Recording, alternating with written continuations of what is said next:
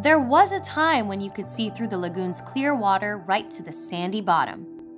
Today, we have a muck problem.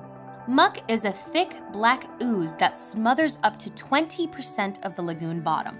It's been building up since the 1950s due to coastal development. Muck is a problem because it clouds the water and continually releases nutrients that can feed algal blooms. Keeping muck out of the lagoon and dredging muck that's already accumulated are priorities for improving water quality in the lagoon.